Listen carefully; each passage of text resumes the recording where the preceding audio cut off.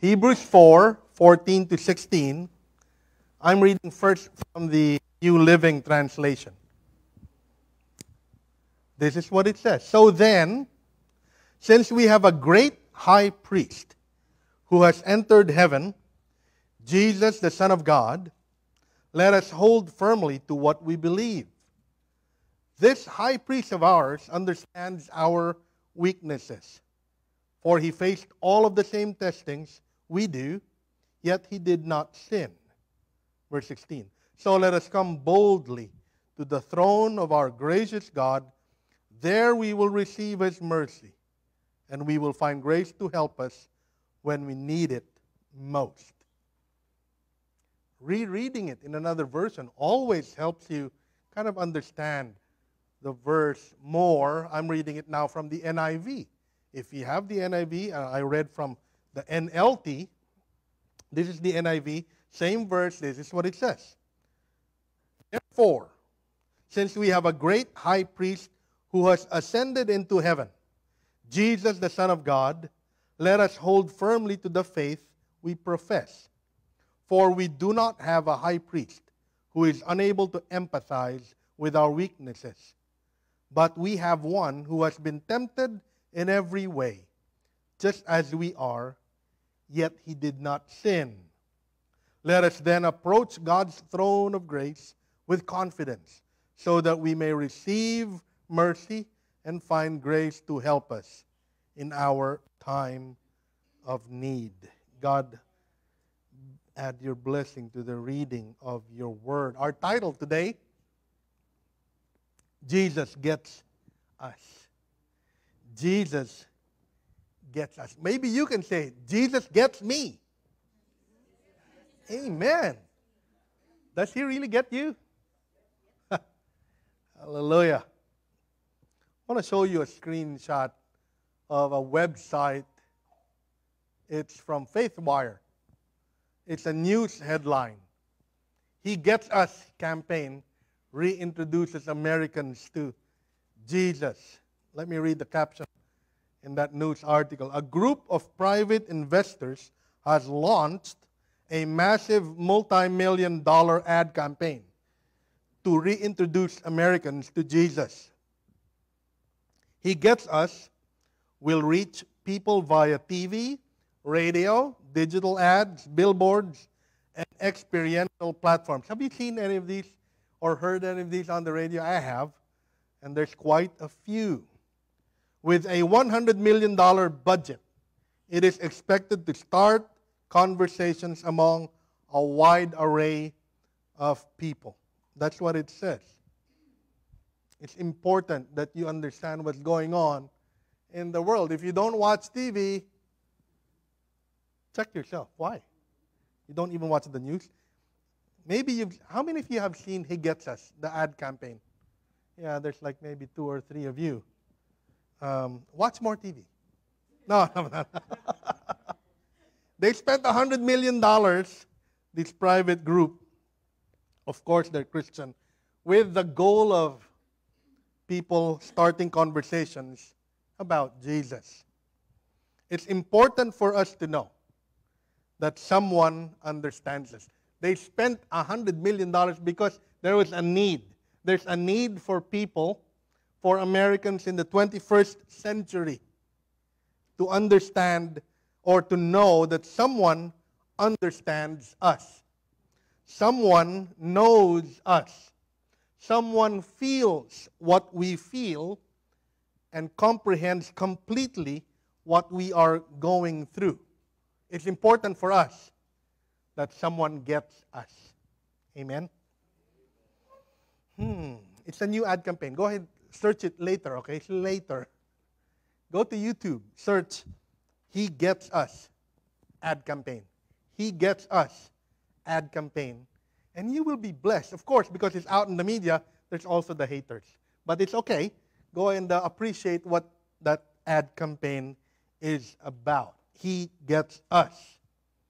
We were in Yakima yesterday to move in you, Amica. Uh, and we met up on the way there with some serious car trouble.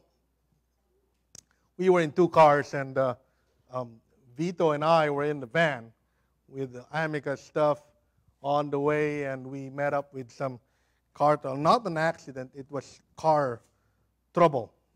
And then, what do we do? Vito and I, it's like, oh, Vito, there's something happening. We were going like 70. We were going 70, and then suddenly there's 40, 35, and uh, something was happening. Uh, what did we do? As, as like, like many of you car enthusiasts, what did we do first? We first turned to YouTube. That's where all the experts go. That's where all the, you ask the experts, that's where they go to. And we searched for someone who had an opinion about that van, someone who had a, someone who was familiar, someone who was knowledgeable, someone who understands and can sympathize with our exact situation and what they did. So, you know, you type in the make, the model of your car and what the trouble was. Hey, there's a lot of people. We found some and we looked at what they did. It was important for me at that time to understand or to know that someone was going through the same thing, that someone was getting us, that someone giving advice and their opinion, what seems like expert opinion, really understands what I'm going through. That's important for us in times of trouble. That's why in crucial times, investors like these will get $100 million to put in. Tell us, he gets us. That's why it's important for families with car troubles it's important for everyone in any kind of trouble at any time to know someone gets you. Go and tell the person to your left, to your right. Tell them, Jesus gets you.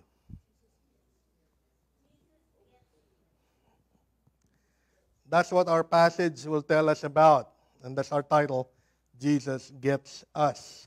The subtitle, the subtitle in my version, if I, you're, you're reading the NIV, the subtitle is Jesus, our great high priest. For that section, it says Jesus, our great high priest. Look at your version. What does this, what's your subtitle for that section? My subtitle says Jesus, our great high priest. When you say priest, what comes to your mind? What comes to my mind are clergy people, holy men, or a religious leader. For me, coming from uh, uh, uh, a Catholic school, an all boys Catholic school for most of my education. It was one wearing a cassock, a white habit. It's like a dress. It's uh, and a clerical collar. One that I will never wear, but I, you know, I can, brother, babes, we can wear that, right? Uh, I've never seen you wear that. I'm, I'm not going to wear that. I'm just saying that's what a, a priest would look like? Someone who has that clerical collar, wearing a white habit, and leading mass. Priests are usually highly regarded in society. There was a time they were even feared and some were revered. That's what I understand from a priest. But Jesus was not just a priest, he was called a great high priest. So he was a high priest. Now, when you say high priest, what are we talking about? We're talking about the Jewish culture and the Jewish religion. Immediately, we understand that the book of Hebrews was written for the Jews. Mm. So they understood when it says the high priest, that Jesus is our great high priest. They understand there's a picture painted for them of what a high priest was. Um, this was a mediator, an intermediary a religious leader of Judaism, one who speaks to us for God and one who speaks to God for us. I'll say that again. A high priest was the representative of the people to God and God's representative for the people. One who speaks to us for God and one who speaks to God for us. A high priest had a high status and high authority in both culture and religion of the Jews. Need you to understand, we're not talking about a clerical collar here, or we're talking about a lot more. in terms especially of Judaism. The Aramaic high priest can be translated as this one who has sorrow with us in our affliction. That's a nice explanation of what a high priest is. but Jesus was not just a priest or a high priest, he was called the great high priest. What's relevant with that? Not only was Jesus the king, proclaimed in the Gospels, proclaimed in the New Testament, not only was he the Messiah fulfilling the promises and the prophecies, but another title of Jesus was the great high priest. Added on was that Greek word mega, megas, great. He was the ultimate high priest. He was the high priest that says, it doesn't get any better than this. If you look for someone who says, Who's the boss here? This is the boss, the great high priest. King of kings, Lord of lords, and priest of priests.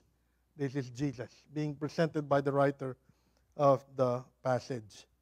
The priesthood of Jesus is actually superior, and this is what's being shown here superior to the priesthood of Aaron. Remember, Aaron, Moses was the spokesperson for God, but Aaron was the priest. And Aaron and his line became the priests, right? Later on, we understand um, Melchizedek. Melchizedek was the first person to be named the high priest or the priest in the Old Testament. Both of that, in the book of Hebrews, Jesus is shown as superior to the high priest functions of Aaron and to the priestly functions of Melchizedek. Why is that significant? One of the major themes of the whole book of Hebrews is that Jesus is greater than all these Old Testament figures and practices. So imagine the Old Testament, all the, all the history, all the culture, all the religion. The writer of Hebrews is saying, here's Jesus, Son of God, superior to all that you understand in your culture and in your religion. That's why it was controversial for the Jews, the book of Hebrews. It says that this great high priest entered the heavens. The picture is the high priest entering the temple or the tabernacle. Remember this? I showed you a picture many, many, many weeks ago of the temple, how the high priest representing the people of God once a year in the Day of Atonement will enter the Holy of Holies. First, he enters the holy place, offers sacrifices, washes himself, enters the Holy of Holies. So it's like maybe three times that he will publicly take a shower to cleanse himself, make sure that his sins and the sins of the people are cleansed from him so that he can enter the temple, then enter the holy place, then enter the most holy place. A lot of ceremonies the whole day, the day of atonement. But he entered the heavens. If he was not pure enough, he was not clean enough physically, what happens? Right there and then, he's dead. Tradition says that they put bells around his garb and a rope around his ankles. Because when he's moving around doing his sacrifices, the people outside could hear the bells ringing. When he does something wrong, like a misstep in terms of the procedure and the protocol, he would just drop dead. That's why there's the bells. They could hear cling, cling, cling. Oh, he's still alive. He's still alive. Our sacrifices are good. He's a good high priest. Then he enters the holy place. It's like, oh, cling, cling, cling. He's still alive. He's still there. Our sacrifices are good. Once, like, oh, 10 seconds, no sound. Maybe he's praying. 30 seconds, no sound. Then they hear a, a big thud. I think, yep, next high priest. And that's why he's tied in the ankles. They can pull him out, and I'm not kidding. They can pull him out because he's dead. That's how serious God took this function of the high priest. Now, Jesus is the great high priest, mega superior, the one who entered into the holy place, the Holy of Holies. He sat down on the right hand of God to intercede for us to do his priestly function. That's why Paul, now in the New Testament, I'm painting that picture for you, it's clear. 1 Timothy chapter 2, verse 5 says, For there is one God, one mediator between God and man, and that is the man, Christ Jesus. Remember that. There is only one intermediary, one mediator. Because of his sacrifice, the Bible says, his sacrifice was once for all. That's how great his sacrifice was. He's the ultimate, the priest of priests. So, Pastor, when, when we do, we come in here. Okay, here we go. Jesus here becomes our singular.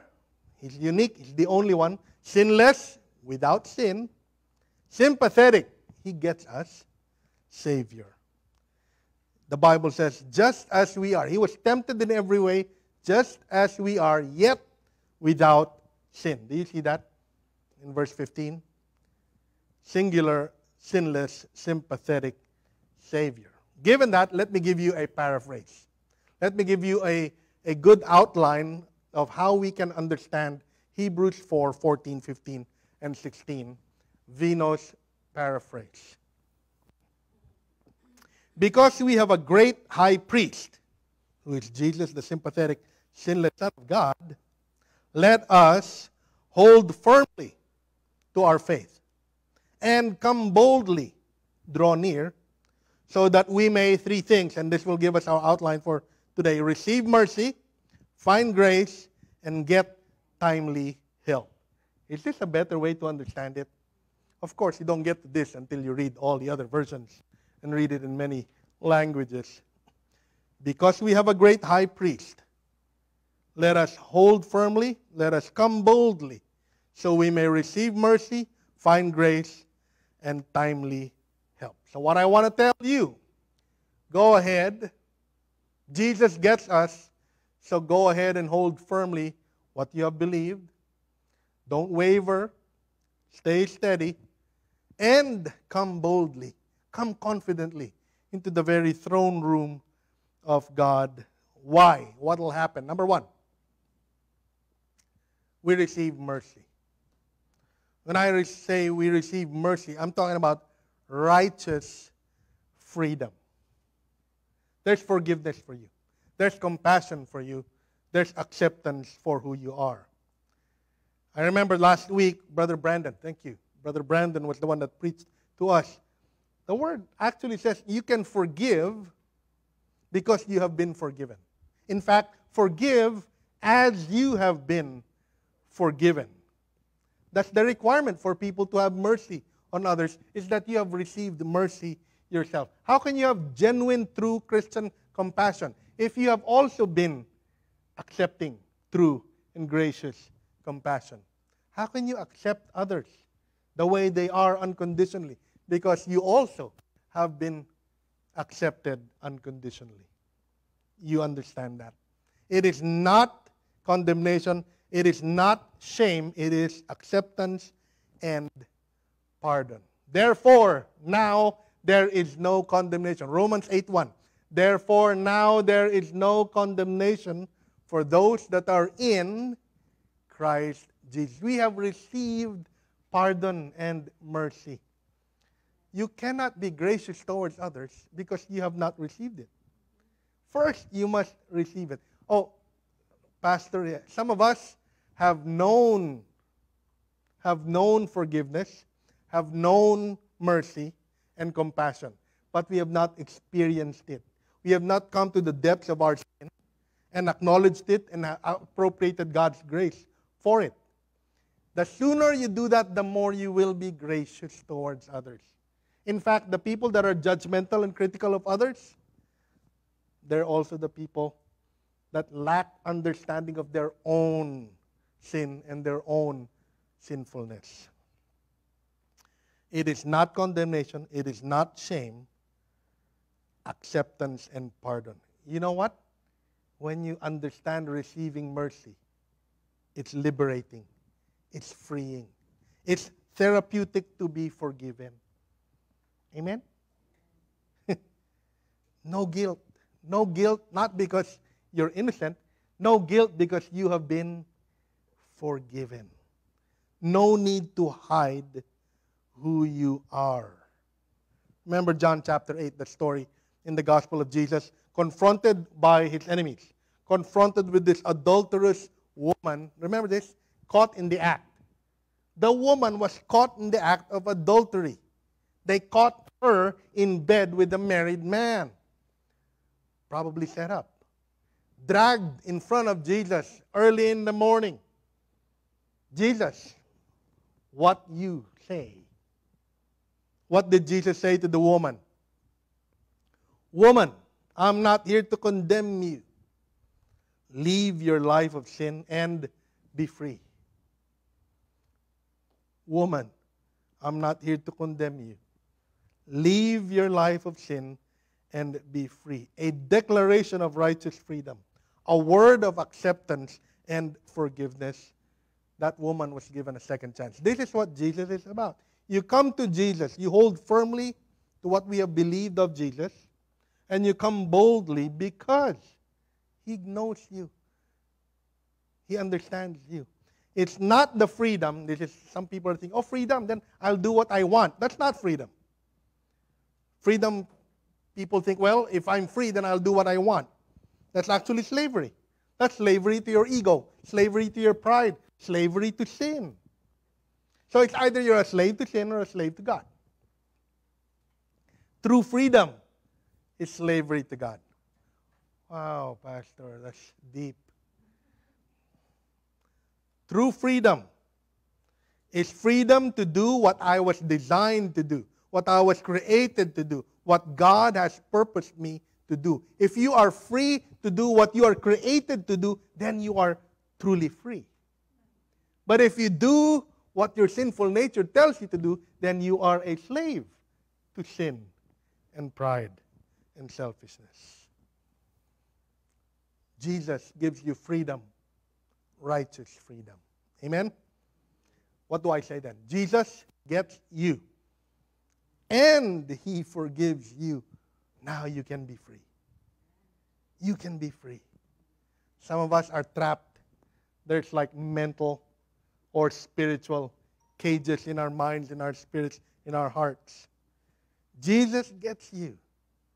And He's opened that door, that cage. He forgives you. Come to him and be free. Number two, Jesus, our high priest, when we come to him, we find grace. When you find grace, something develops into you humble boldness. Is that possible, Pastor? That's like a contradiction of terms. Humble boldness. It is what it is. There's no fear in the presence of God. You can come full of confidence, not in yourself, not in what you have accomplished, not in your own goodness and religiosity. Have you tried that? Coming to God? Coming to God in front of Him and, and offering because of your own righteousness? Self righteousness. Jesus said, No, not that. You come in grace. No fear, full of confidence, not in ourselves, but in God's provisions for you. Not worrying that His holiness will burn you up, like that high priest comes into the tent. Remember the holiness of God? They were just helping the ark was going to fall. Some good intentioned people, but it was not following holiness protocols. They touched that ark, pow, right there and then, dead. Remember in the New Testament how God was so holy and wanting to instill holiness. There's people that lied to the apostles lied to the church regarding, I think their names were, what's it? What's their name? I forgot their names. The couple, pow, right there and right then, dead. Ananias and Sapphira, husband and wife, lying to the Lord. Peter says, Why did you do that? Pow, dead, right there and then. This is a scary God when it comes to holiness. Tell you what, this is the same God. But we can hold firmly to what we believe of Jesus. We can come boldly into his presence, not burning up because we find grace. We didn't deserve it. We didn't earn it. Didn't pay for it. We didn't clean ourselves enough because there's no way that you can do that on your own. The boldness to not worry and enter his presence. Remember Queen Esther in the Old Testament. How she needed boldness to enter the king's presence because you can be killed if you enter the king's presence without being summoned. And it's like, we're talking about the queen. And she says, I, I don't know if I can do that, but, you know, pray for me. If I die, I die. And with boldness, she entered confidently, and the miraculous happened. That's the boldness. It's like that. It's like a child entering his or her dad's office or workplace. It's like a, a child entering without regard for protocol or appointments or procedure, just holding on to his or her relationship with his or her father, regardless of whether he's the president or the king or the CEO. Just holding firmly to their relationship, a relationship of grace. So you can come boldly, but because of grace. It's unfettered access. With Jesus, you feel at home. That's why when your, your guests come, oh yeah, what do you say? Uy, mi casa, su casa. My house is your house. Feel at home. Do you tell that to your guests? Feel at home? Some of you regret saying that, right? But when you say that, you're telling them, hey, whatever you do in your house, do it here. This is your house. Feel at home. Feel at home or remove your slippers Or remove your shoes Feel at home. Don't touch that. Don't touch this. Don't touch that. That's the bathroom. Wash your hands well. Sanitize. Feel at home. yeah. But it's unfettered access. You have access to God because of grace. Unfiltered openness. These words that I have to use the thesaurus for unfiltered openness. It tells God, when I come, I will come just as I, you don't need to pretend, just as you are. You know, you go to a masquerade party. Have you been to a ball, masquerade ball, where, where, you, you need to have a mask to come in, like in the Phantom of the Opera kind of thing? It's so formal, it's so pretentious. Everyone comes in with a mask. And I'm not even talking about a, a, a mask like a, like a COVID mask. I'm talking about like a costume to cover who they really are. With God and God's presence, because you find grace, just come as you are. And we hope and we pray that this place becomes a, a place of grace. That you can come the way you are. You don't need to pretend. Are you pretending right now as to who you are? Some of you might be. We want you to know you can experience unfettered access and unfiltered openness in the presence of God. Come the way you are. Oh, Pastor, if you knew who I really were, was, I don't know if I will be welcome. You don't know how I really am, but I still try. You know why? Because of God's grace. We're not going to judge you. We're not going to we're going to welcome you and accept you and love you and grow with you because we're like you. And with grace that we have found, it's a equal opportunity forgiver equal opportunity acceptance. I have 10 sins, you have 99. You're both welcome because it's by grace. You didn't earn it. That's why I like camp. How many of you been to camp? Youth camp, family camp, any kind of camp. Why do you like camp? You, in camp, you get to see who people really are early in the morning, before breakfast, before that first cup of coffee, right out of the tent you see who they really are without makeup, without a hairdo, without, you know, ironing their clothes. Some of them in their pajamas. Oh, wow. It paints a picture in your head, right? Some of you, we're closer to one another. You know why? Because we saw each other for the way we really are. I saw your, the holes in your pajama. There are a few people here. They know me. They, it's, it's holes. In, this is what I wrote here. I don't know why I wrote. Oh, yeah. Okay. Holes in my shirt, pajama, straight out of bed look. and some of you have seen me like this. Holes in my shirt, pajama, straight out of the bed look. Good morning. Many times I've come out of my room, like, I, am I'm, I'm on my way to coffee still. And, Hi, good morning. There's people in my house that, you know, they welcome. Of course you're welcome. I'm just saying. It's unrestricted access. It's my house is your house. That's how it is with God's presence. Come the way you are.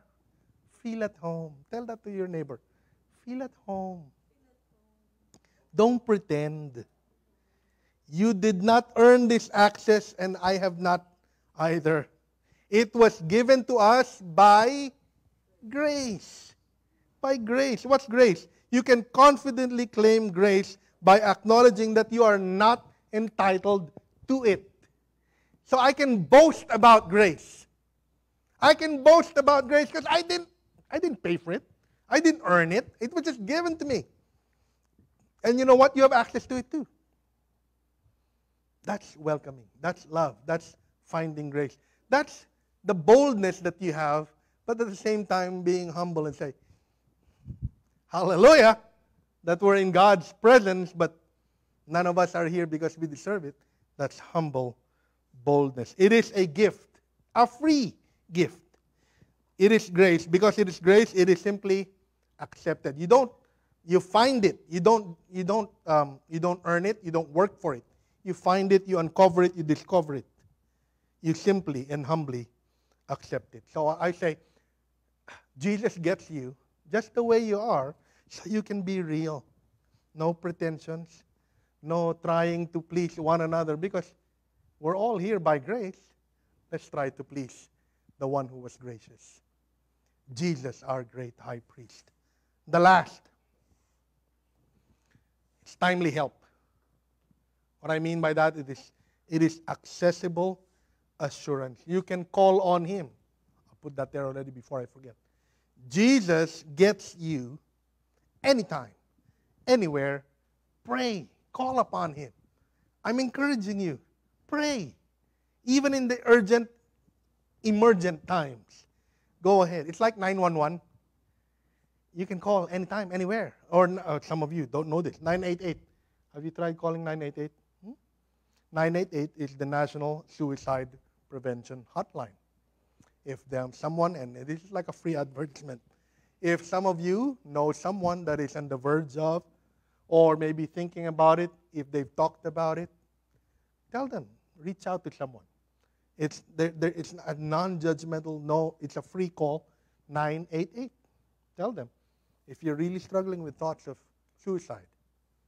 The National Suicide Prevention Line, don't dial 911. They will also refer you to 988. It is help that is always accessible. You've heard it said, it's only a prayer away.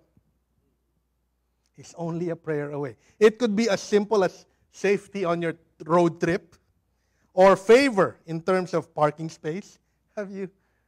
Do you do that? It could be as trivial as that, or little more serious guidance for, say, a board exam, guidance in terms of what career or college to go into, even into major things like comfort for the terminally ill, pain of broken relationships, immediate intervention for a family crisis or, or you know, like deciding who to marry. Hmm, big things.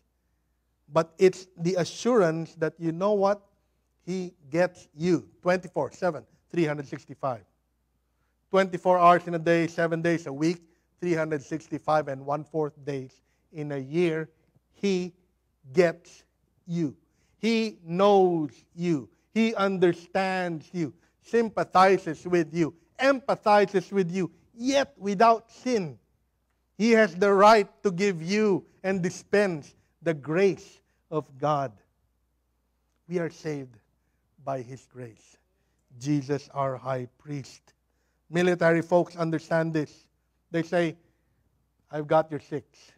What does that mean? He's got your back. 12, 3, 9, 6. He's got your back. Jesus got you all over.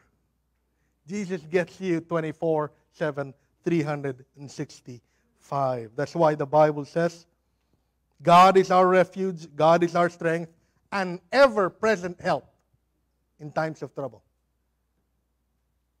The whisper of a prayer of someone that texted you, there's an emergency here, there's an emergency there, and you're helpless against it. But you know what?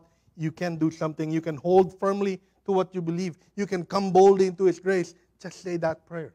He hears, He understands. He is our great high priest. Amen. You know, because of our interconnected world, not only are we updated on what's going on with friends and family from all over the world and from every time zone in the world. And that's a good thing. We're updated of everything, anywhere, anytime. We are also updated and informed of every emergency and every urgent prayer request from everywhere, from every time zone, every time. What does, what does a pastor do? From halfway around the world, you receive a, a a, a, an emergency. I'm helpless here. I can't do anything. I don't have the resources to fly over, lay my hands on someone, or, or, or, or try to really help physically.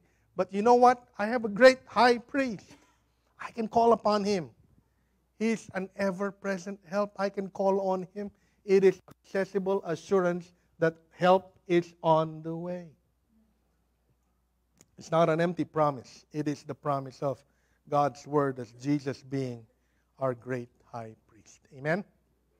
Jesus gets you anytime, anywhere, call upon him. Amen? Those are the slides. Gets us, hold firmly, come boldly, receive mercy, find grace, and timely help. Let's all stand up pray.